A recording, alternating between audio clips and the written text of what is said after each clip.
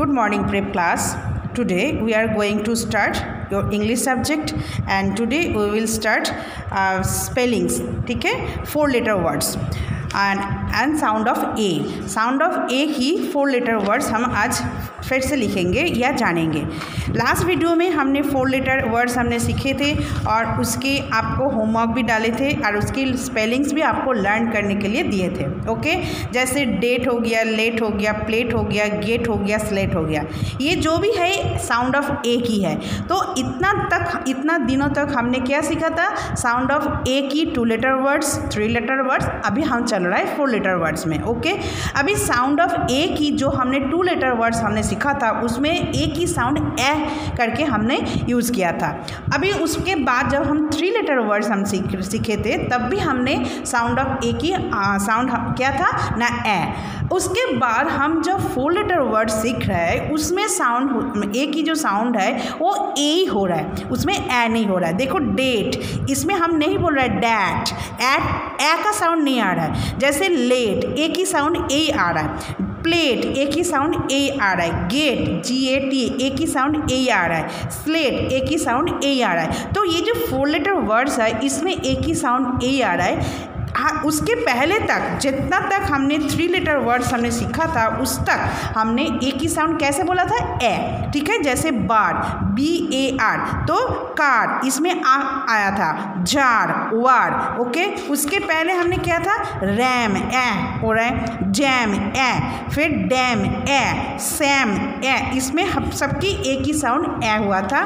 उसके बाद हमने ए की साउंड आ हुआ था, उसके बाद अभी ए की साउंड ए हो रहा है ओके तो सेम प्रोसेस फॉलो करते हुए आज हम फिर से new words four five letters फिर से हमने फाइव वर्ड्स हमने हमने लिखा, वो भी फोर लेटर्स वाला।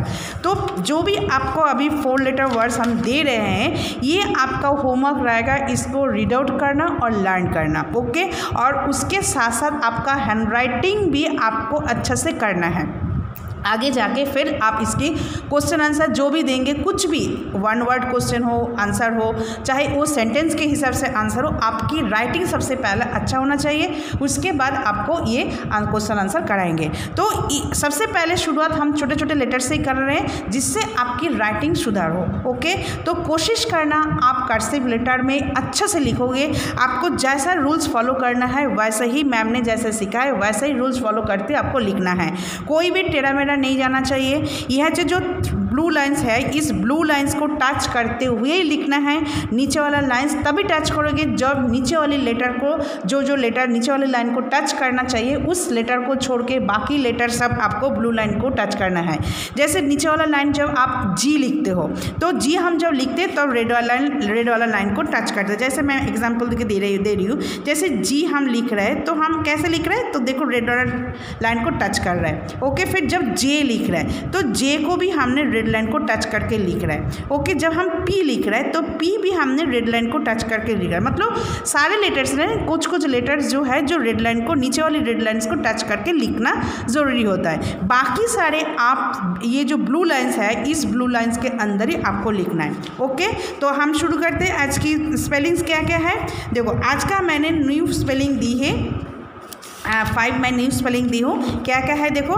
सी ए एम ई क्या होता है? केम सबसे पहले आपको कैसे लिखना है, कैसे इसके प्रोनाउंस करना है, ठीक है? सी का स्पेलिंग आपको पता है क। कैसे स्पेलिंग होता है? क, ठीक है? क। फिर ए का स्पेलिंग ए फिर म का एम का स्पेलिंग म, फिर ई का स्पेलिंग ई तो इसमें क्या होगा? सी ए एम ई तब हम क्या बोलेंगे? केम ओके जैसे एस ए एम ई क्या होगा? श। ए म ई तो हो गया शेम फिर डी ए एम ई ड ए एम सॉरी ड ए, म, ई तो हो गया डेम। तो आपको क्या करना जैसे हमने हिंदी में हमने जब लिखा था two letters, three letters, four letter words, उसको जोड़ के फिर उसके बाद हमने मात्रा वाला वर्ड सीखे थे, जैसे आ की मात्रा, ई की मात्रा लगा के बाद कैसे लिखना है उसके साथ। जैसे ये है, आपको पता है, ये सी है, सी के साथ आप आ की मात्रा लगा रहे हो, ये है आ की मात्रा की तरह। ए ए की साउंड क्या होता है? ए होता है, कभी आ होता है, कभी ए होता है। तो इसको देखना पड़ेगा आप इसका साउंड क्या होगा?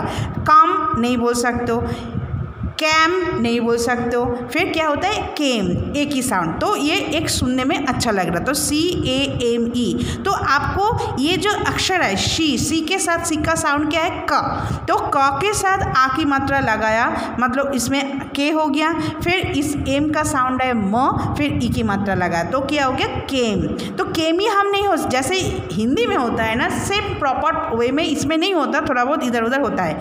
ठीक है? सेम ये क्या है? एस ए एम ई क्या हो गया? Same dame D A M E dame फिर tame T A M E tame फिर क्या है? N A M E name तो आपको ऐसा लेटर को तोड़ते हुए आपको लिखना है, फिर आपको उस लेटर को जोड़ के एक वर्ड बनाना है ओके तो इसका हमने सेम होमवर्क इसमें डाला है। जैसा मैम ने इस पेज में कराया सेम होमवर्क आप इसमें करोगे और राइटिंग एकदम नीट एंड क्लीन होना चाहिए ओके फिर नेक्स्ट पेज में हमने क्या डाला?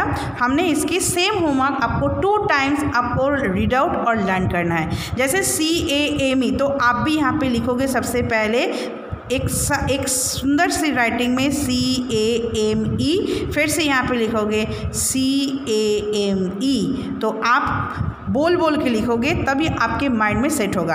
फिर क्या है? Same S A M E same फिर S A M E same okay फिर क्या आता है? Dame D A M E dame फिर D A M E dame जैसा मैम आपको सामने कैसे बोल रहा है, कैसे पढ़ा रही है, वैसे ही आप घर पे बोल बोल के लिखोगे। ओके, फिर आता है tame. T A M E tame. T A M E tame. फिर आता है name. N A M E name. N A M E dame जैसा मैम ने यहाँ पे कराया सेम प्रोसेस फॉलो करते आपको घर पे करना है। राइटिंग नीट एंड क्लीन होना चाहिए, कोई काट पीट नहीं होना चाहिए ज़्यादा इरेज नहीं करोगे।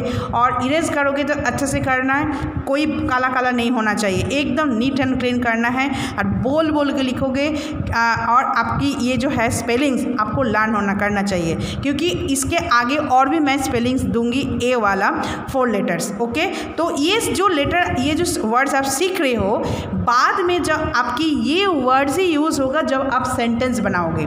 तो इसीलिए हमने अभी सेंटेंस बनाने से पहले छोटे छोटे करके आपको मैंने ये सारे वर्ड्स हम सिखा रहे हैं। और इसकी स्पेलिंग के साथ साथ आपको सीखना पड़ रहा है। क्योंकि अभी आप छोटे छोटे सीखोगे, तब जाके इसको सेंटेंस में कैसे यूज़ करना है सेंटेंस में जब आप इसको यूज़ करोगे, उसको कैसे प्रोनाउंस करना है, आपके लिए ईजी रहेगा। इसीलिए अब हम अभी आपको ये छोटे छोटे words two letter three letter and four letter words हम सिखा रहे हैं। ओके तो आपका क्या होमवर्क रहेगा? आपका होमवर्क रहेगा इस स्पेलिंग्स को कैसे आपको तोड़ के, तोड़ते हुए लिखना है। सेम प्रोसेस आप इसी पेज में होमवर्क करोगे। उसके नेक्स्ट पेज में इसको टू टाइम्स आप बोल बोल के लर्न करोगे, लिखोगे। Okay neat and clean okay thank you